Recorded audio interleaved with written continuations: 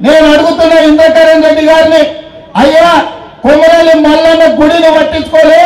వేములవాడ రాజన్నకు పేద ప్రజలు మొక్కు తిందా?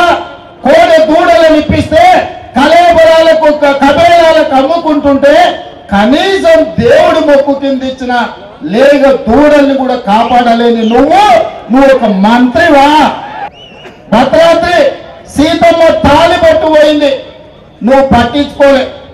రాములవారి ఉత్సవాలకు తలంబరాలు ముఖ్యమంత్రి సతీమను లేదా దేవాదాయ శాఖ మంత్రి ఆయన సతీమను తలంబరాలు ఇవ్వాల్సి ఉంటే ముఖ్యమంత్రి గారి ముద్దుల మనోడు చిట్టినాయుడు ముందర తలంబ్రాలు మోస్తుంటే నువ్వు పంచోతుగా వాడి వెనకాల తోటవా కొంచెమైన సిగ్గుందా?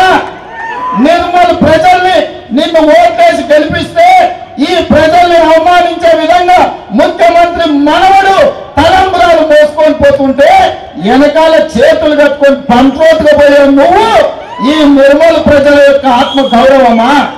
ఏదైనా రిలేషన్ కుక్క ఉంటే మేము కరుస్తా చూడండి. ఆ విధంగా తయారైనటువంటి వీళ్ళు ఈ కుక్కలు తయారైపోయారు. ఈ రేవంత్ రెడ్డి ఒక కుక్క ఈ మహేష్ రెడ్డి ఒక పెద్ద కుక్క. ఆయన గతి చరిత్ర ఏందో నువ్వు నువ్వు చూసుకో మొదలు పరిశ్రమ వేసుకో. మొన్ననే ఎమ్మెల్సీ ఎలక్షన్లో నువ్వు ఎవరింటికి వెళ్ళి డబ్బులు ఇచ్చి రిటైర్డ్ హ్యాండ్ పట్టుబడ్డవు? మరి ఈ సంగతి తెలియదు ఎక్కడ? రేవంత్ రెడ్డికి జైలుకు పోయి మొన్ననే జైలుకు పోయి ఇచ్చాడు. చంద్రబాబు నాయుడు తన్నే ఇలగొడితే ఈయన వచ్చినప్పుడు కాంగ్రెస్ పార్టీలో దూరాడు. రేపు ఎన్నికలలో ఆ మహేశ్వర రెడ్డి గెలవకుంటేనట అడవులలో వెళ్ళిపోతాడట సన్యాసం తీసుకుంటాడట ఇక సపోర్ట్ కొట్టురు ఇక సన్యాసం. ఛాలెంజ్ అదే మాటకు నేను కూడా ఛాలెంజ్ చేస్తున్నా. అడవులకు నువ్వు పోతావా?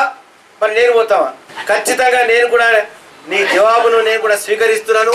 ఇదంటే మాట్లాడితే మనుషుల మనోభావాలు దెబ్బకి దెబ్బతీ కూడా మాట్లాడాలి.